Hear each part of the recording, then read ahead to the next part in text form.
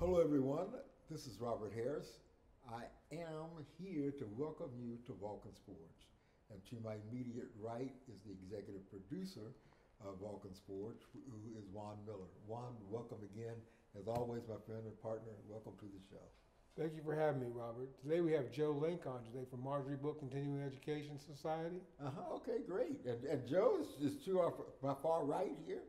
And Joe, again, welcome once again to this program. And uh, we are delighted to welcome you here and to have you here and, and, and have you talk about what you're doing and how it relates to Vulcan's Forge. And I'm going to turn it right back into the hands of Juan because he tells the story better than I can. I love the story of Vulcan's Forge and its name and its meaning. Vulcan's Forge, the uh, name Vulcan's Forge came from the name of the mythical Greek god Vulcan, a Roman god, Roman god Vulcan. That uh, Vulcan was the son of Jupiter and Juno. Jupiter and Juno were the king and queen of the gods. And since Vulcan was the son of the king and the queen of the gods, you would expect him to be a beautiful baby, wonderful little baby, as it was, he was born small and deformed. And Juno, his mother, was so upset, she hurled him off the top of Mount Olympus, and he fell for several days. And he finally hit the water on the earth, and he hurt one of his legs, which is how he became injured and disabled. He was then raised by sea nymphs, and one day he found the embers, excuse me, of a fisherman's fire on the beach. And he found that by heating certain stones, he could create silver and gold and iron. And he found that by heating these stones, he could form jewelry and other things. And so eventually he became the jeweler of the gods and he made their weapons too. And that's, we refer to Vulcan because he had a disability, but he overcame his disability to create fine art and that's where the uh, the term Vulcan's Forge comes back. And, and he I, worked I, at I, his forge. Juan, I love the story, and I love the way you tell it because that's what I feel in myself. You know, that that I have some of Vulcan in me. So I, I was I was born. I was considered okay. Became disabled at eight months. Doctors gave me up for dead. They gave me three days to live. Uh, 72 years later, I'm still here. All my doctors are dead you know, and everything they said I couldn't do, you did. I've done. Mm-hmm. Except walk. I've never walked. But everything else I've, I've done, and I've done it successfully by the grace of God. And this is why I'm glad that Joe is here, and I'm glad that you're here, because my visibility, my, my, my disability is very visible. You know, and, and yours, you have one, but it's invisible. I don't know whether Joe has one or not that he will talk about anyway. I, he's got several, but we'll leave that for another program but at any rate, he looks good, you know, and he's working with people with and without disabilities to show everyone, show the world the talent that can be had and the, what we can accomplish if we only don't worry about labeling, but worry, or not even worry, but just take that reign and run as far as we can and as fast as we can. So once again, Joe, you know, I'm glad you're here. Well, thanks for having me on the show, Robert and Juan. Um, Marjorie Book uh, Continuing Education is a group that, as you were saying, it's a very open group. We try mm-hmm. to get um, a lot of diverse people together. Um, we do operate a theater program where we produce three uh, theatrical productions a year. Um, we also offer um, some classes uh, on Friday nights. In fact, right now we're doing a theater related class, which we don't always do theater related classes, but we're doing a Romeo and Juliet in film class. Um, and then we also do a number of service projects on the weekends around the Cincinnati community and even take some service trips out of town. So all of these activities we engage in, they're intended to be, uh, you know, a vehicle or a forum so people of different ages, people of different abilities um, can get together and work on a common project. Now, Joe, you, again, you, you're tantalizing me because I know a little bit about what you're talking about, but I want you to talk a lot about what you have mentioned, and that is, you know, the projects that you, you go have going on now on Fridays relate to theater and relate to drama and relate to film as well. And you're dealing with Romeo and Juliet and you're dealing with Shakespearean things. Tell us about that. How does that, uh, what does that look like? What, what are you hoping to gain from that? Because I know I had a little sneak preview because we worked together over the summer and we did some of this and it was kind of neat because I hadn't thought about it. How many times has Romeo and Juliet not only been performed on stage, but has actually been put into film and even some more uh, kind of modern day takes on it. So can you talk about that a little bit? Because it was fun for me. I enjoyed it. yeah, I, and I, I know that the folks who are going through it now are enjoying it. So it's all yours. Juan, feel free to jump in here. Don't let me talk too much. You seem to be doing a good job. Well, I love so talking I'll right say now, so I'm trying to shut up so I can let Joe do his thing. Let Joe do his thing, okay. Well, our theater program over the, over the years has mostly done the works of well-established playwrights, and that brings you know positives and negatives with it. Um, and one of the playwrights we have performed in the past is Shakespeare, probably about four times in the last two decades. Um, and when you're producing Shakespeare, part of the challenge is how to make it accessible to the actors, how to make it accessible to the audience. Um, and we've had some success, we've had some failure with that. Um, but when we were brainstorming classes to offer, and I know in the past, Robert, you've taught classes on leadership for Marjorie Book and chess. We were brainstorming classes, we thought, you know, is there a class that would help make Shakespeare more accessible to a diverse group of people? And so, uh, by looking at Romeo and Juliet through film, we thought we might be able to make Shakespeare a little bit more accessible. A lot of people today are just more comfortable uh, viewing film. It's a little less intimidating for them than going to a live performance. Um, and part of the fun in watching these um, Shakespeare plays adapted for film are the choices that the directors and producers and um, you know script editors make about what are they going to include in the film, what are they going to leave out. In a few cases, not many, some of the filmmakers have chosen to add in new things to the Shakespeare film that wasn't in the original script. And you realize So- that. And, and that is rare, but there are there are some examples of it. So in the class, we've been looking at different versions, um, often of the same scene, but from um, different filmmakers in different time periods, and discussing the differences. So we've um, we've looked at it, the 1936 version, the 1968 version, the 1994 version, and the 2010 version of Romeo and Juliet, and, and are comparing it. And I think people in the class are enjoying that, and they're probably a little more willing to talk about their response to different scenes than they might be in a, say, a formal, you know, high school or college class. Do you teach the class, Joe? I am teaching the class. I haven't taught very many Marjorie book classes over the years. I've always tried to have other instructors mhm, come in, um, but this this particular time I decided to teach it. I've only the only other class I've taught for Marjorie book was a class on the philosophy of art, Mm-hmm. um, and so uh, following this up now with another art related class with the Romeo and Juliet and film, um, and it it's I have to say this class is not is not as challenging to teach as some other classes because um, I, I think people just have a lot they want to share in the class when they view a film clip. Mm-hmm. And, and Joe is a professional teacher. He is, yeah, I realize. Yeah, he, he, he's university trained, university affiliated. You with UC and Xavier, correct? Yes, yes. I, so I, I try to be a professional. Hopefully, um, he is. hopefully I'm working towards that. He's there. Yeah. You know, he just he, he, he's there. He's being modest, that's He's all. being modest. Being but modest. he, he deserves a lot of. He's got a lot of guts. Is what you He just call that pure tenacity. He just doesn't know how to surrender. Doesn't know how to give up. Doesn't know how to to turn around and run away. Or if he does, he doesn't seem to act like he does. He does. doesn't show it, no. Yeah, he, he doesn't sweat. He his whole thing is like that commercial. Never let him see his sweat. you know, so he, he does his sweating later on. and Joe, I really I'm serious. I enjoy what what you're doing and where you're where you're headed with things. And now, correct me if I'm wrong. but one of the versions that you were showing had a little bit of kind of a science fiction touch to it as well, you know.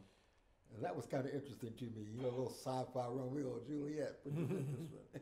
Well, you know, that 1994 version of Romeo and Juliet that was produced by Baz Luhrmann, it is very um, different from any version you would see um, with a lot of um, modern images mixed in with the older images.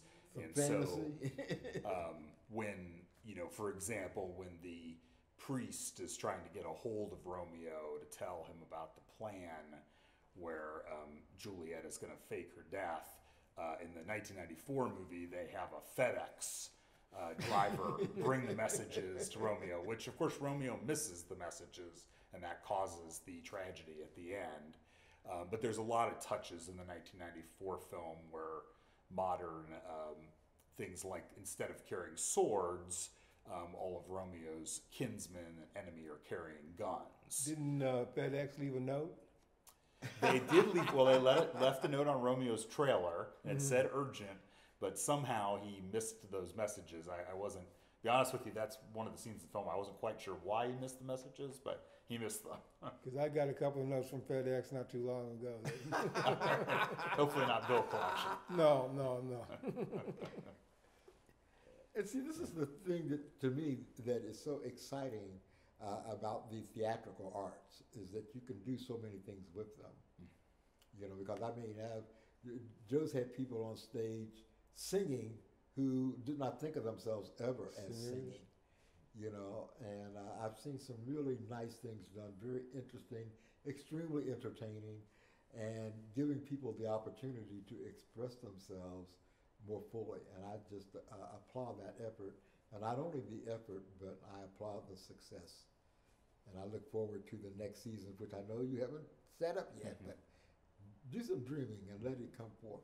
And who knows, you know, Juan's a playwright, so maybe think about doing an Mhm. original Juan Miller piece. I'm just Yeah. throwing that out there. Yes, and you know what? I've been very excited to hear about Vulcan's Forge because I I think Marjorie Book, with our limited time that we have, we've devoted a lot of our energy to performing on stage. Uh, you know, established playwrights who um, are performed in many other places, and we occasionally will perform a local playwright, but that's not um, that's not been our um, that's not been our core activity. Um, but I but I'm excited about Vulcan's Forge because I know there's opportunity for many local writers to have their work showcased through Vulcan's Forge. So I, I think see. Vulcan's Forge and Marjorie Book could really be working, you know, could work together in a nice way here in Greater Cincinnati. I see Vulcan's Forge creating in, infrastructure of uh, different groups in the area, so um, we can we can produce those that work and get work out to other people, like to Marjorie Book. Maybe you can utilize some of our Mhm. writers, and we can utilize some of your actors, and bring together some pieces of performance art. Looking forward to working with uh, Marjorie Book on that, on those kind of things. Vulcan Forge is always one intended to be kind of an umbrella organization to bring together all these different art groups into one performance piece.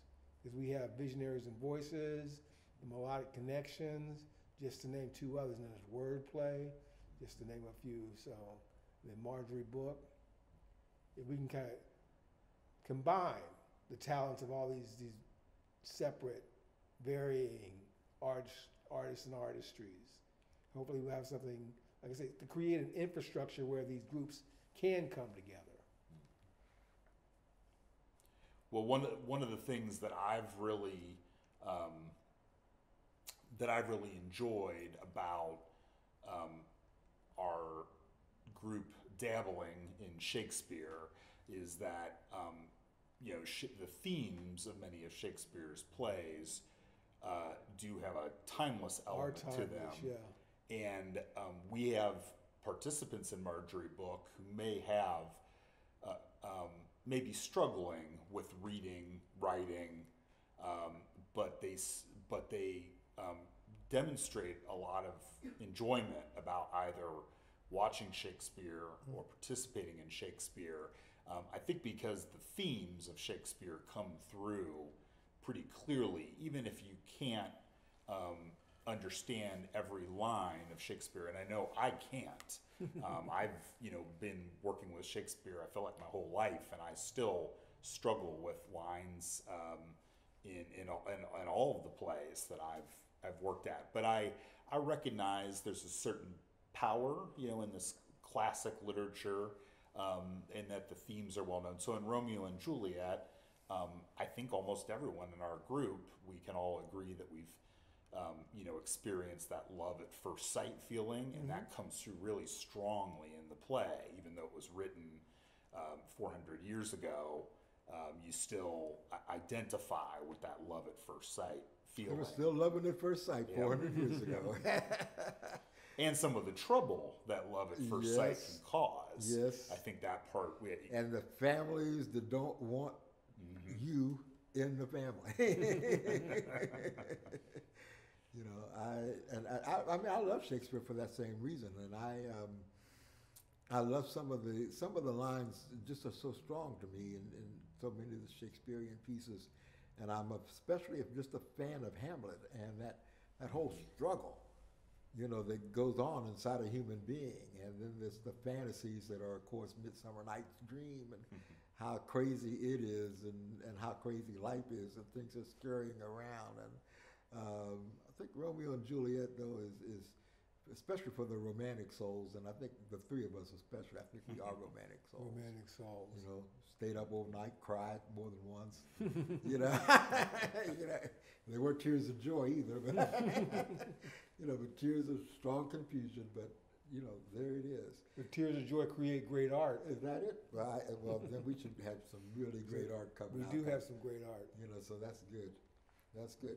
Joe, what what got you involved with Marjorie's book? What got you turned on so much about this crazy notion that people can have theater, you know, and that they can act and that they can perform and that others can enjoy and participate? What what turned you on? What got you? Well, um, when when I was um, when I was in high school and college, I had the fortune to get involved with some local nonprofits that provided services to people with disabilities. I really enjoyed that experience, but at that time, which would have been the early to mid 1990s, I also saw that um, people with disabilities, um, you know, were often being offered programs that were pretty cookie cutter. Um, the programs weren't looking at the person's individual interests. They were just saying, "We've got a program for you. Come in and be part of it." Um, and so there was a small group of us that talked about trying to do something different, and we had a lot of discussions and brainstorming. And a theater program was one of the things that we discussed. That um, a the, that theater is very there. There is there are a lot of opportunities in theater for people to take on differing parts, big roles, small roles. There are behind the scenes roles that can be played. So we wanted um, to offer theater experiences to people with disabilities, um, but at the same time, we thought, um, you know, at that time in the early to mid 90s, there weren't a lot of programs that seemed to be trying to bring people with and without disabilities together. So we made that a focus too. Um, I think both of those things were in our mind um, when we started the group. And, um, you know, fortunately, 25 years later, I think there are more opportunities in greater Cincinnati for people with and without disabilities to come together. I think there's, there's many more diverse opportunities available for um, young people with disabilities. Um, but Marjorie Book still seems to be serving a, a good function here in the community, so we keep going. Uh, so next year will be year 26. Whoa, Congratulations. 26? Yeah, and we'll we'll keep we'll, we'll keep going until we're no longer needed anymore. That's a long time. 26 years. It is a long Congratulations. Thank you. Yeah, congratulations. you. I didn't realize it had been that long. I've been around with you for 26 Yeah, years. you've been working hard for the last 26 years. I didn't realize it was that long. So it- something must be working right, or you don't stick around the place 26 years. You know, so that's great. that is that is great. You know, do you see any? Do you have a vision for the future, or are you just letting it happen, come and enjoy it as it as it comes and goes? Well, I, you know, I, I think we have so many young people that have been involved in our organization over the years. Um, people that are in high school, people that are in college or college aged. And um, I think we continue to explore ways to make theater feel relevant to them. So we have, um, we're, you know, I think our vision for the future is we're trying to listen to younger people, uh, people that are you know a lot younger than three of us, about um, how they see a play performance unfolding. I know this past year we had a couple of young people that did trivia during the intermission with the audience. Um, you know, we took a little bit of time away from the play so that they could do the trivia um, because that was something that was important to younger people.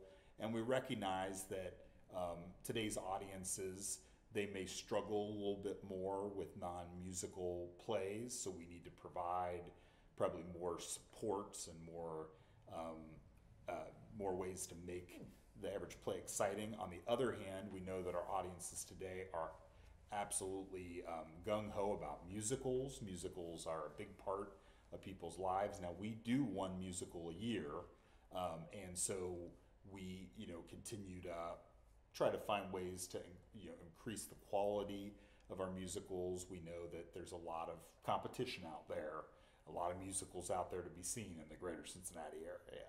Can you give us some examples of some of the musicals uh, that you have performed or want to perform? Well, we have, um, in terms of uh, more well-known musicals, um, we've done a couple. We've done um, Footloose. Uh, that was Uh, fun. It was. It I was remember that fun. A lot of work. Yeah. A lot of cowboy outfits and a lot of cowboy hats and. You know, I remember one of the actors. He had this great, big, huge buckle, about as Yes, big as he that's was. right.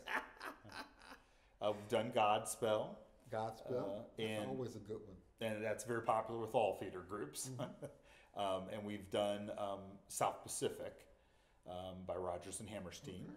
Um, and we have done a number of lesser known musicals. Those tend to be a little bit more accessible for our group because financially you don't have to pay out uh, quite the large royalties for lesser known musicals. So we've done Anne of Green Gables, the musical. We've done Animal Farm, the musical, uh, kind of an unusual one.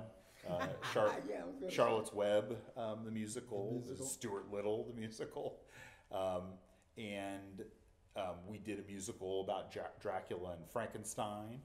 um, so we've we've enjoyed both the the lesser known musicals and the the more well known. Um, we are looking at this year at um, this coming year, 2019, at potentially doing another Rodgers and Hammerstein musical. So we're just making the Which final. one would you are you choices. looking at? Are you? I think I think um, you know probably Carousel and Oklahoma are on the list. Mm-hmm. I say again, how, how can you go wrong with either one of those? And what you know, even for me, I tell you, one of my favorite ones was Carousel, and I I, I, I love it. Just you know, again, there's a tremendous amount of romance there in Carousel for me, and there's a you know romance literally, I guess, and romance figuratively in terms of the way we think of romance. Uh, and the, the my late wife Gloria used to call it wonderlust. And I think that's the, the word there, you know, the, the carousel, the wonderlust, the things that spark the imagination and say, you know, can I go forward? What can I, can I dream about? Uh, should I be afraid? It answers that question, looks at that question in terms of being afraid. The whole concept of the carousel and what's on it and what it represents uh, i- i- best. You know, I, like I said, I'm a romantic, and I know I am. You know, and I love. I'm a dreamer, and for me, Carousel answers those frightful questions and those questions about the future, and those questions in terms of saying, you know, what am I willing to do to stand tall and deal with whatever's coming at me, and survive it and grow from it. I think Oklahoma would have my vote. I always enjoyed Oklahoma. Oh, That was the- Oklahoma, da. That was Rodgers and Hammerstein's first. Was it their first? Yeah. Where the wind comes sweeping down the plains. Yes. Yeah, and you know, one thing I like about Marjorie Book is that we um, we're a group that um, involves a lot of diverse people, but we don't shy away from controversy in plays. So when we did South Pacific, um, there are some controversial elements with race in South Pacific, and we talked about those. We talked a little bit with the audience about it. I think Carousel would be a similar situation. It has some com- controversial um, elements with domestic violence. And again, I, I think in our group, though, we're um, we're a place where we can talk about that openly, and um, this might be we, we might have participants who've never had the opportunity to try to be a part of something controversial. So um, we're we're a good forum for that. I think in a safe place to do I it. was gonna say, it's not only a good one, but it's, it, because it's safe. Because we're, we're dealing with something that didn't happen, it's not real in the sense of it, it, it- it's going on, but it's dealing with subject matter that deals with the emotions and the realities of realness and what that can do. Uh, and I, I would agree with you. So keep on keeping on, as they say. Keep on keeping on. Where do you, um, Ron, where do, do you see the possibility, and I know you talked about it and you said it already a little bit, but where would you see um, a local playwright maybe fitting into what Marjorie Book is trying to do? Well, I'd like to see um, maybe some of your people write something. You know, short one acts. I don't know. Uh, Mhm. you have any writers in the group? I think we have uh, several individuals that would enjoy being part of a writing team, and we've um, our group has participated in some writing workshops um, over the last uh, ten years, and always enjoyed them for sure. Maybe somehow we could get uh, Cincinnati Playwrights Initiative on board with some of this. Some of their playwrights might be willing to work with us and uh, Marjorie Book, and maybe get some skits or some one acts. You put together an evening of one acts, and then have your people perform them. One of the projects where we are working on, it may not happen until 2020, but we um, there was a local playwright named Renee Alper, um, who I know both of you knew. Um, I know Renee. Renee uh, had passed away, but had written a number of um, one-act plays and and one or two longer plays, and we're we are looking to perform uh, a number of Renee's plays. She was a uh, player with a disability that had been a part of our group, um, and so we hope in either 2019 or 2020 to do a night of Renee's works. Um, Or at least looking forward to excerpts that. from them. That, that could be great. That could be great. We've got about one minute to, to, to finish up, and I just, it, it hit me so strongly in terms of, I love what you said about Renee, because I remember, what was the non-vertical girl? yes, Yes. About her own life story. Yes, being non-vertical, person in a wheelchair who doesn't stand up. She's mm-hmm. non-vertical, non-vertical girl. And I'm just saying that that's great. We're out of time. Joe, thank you for coming. And, and Juan, nice being with you Thanks, Joe. always. Thank you. And Joe, you just keep on keeping on, man. And thank you for coming. And please come back to Vulcan's Forge. Take care. Folks, be well and get involved. You can do it if you try. God loves you. I love you. Mm-hmm.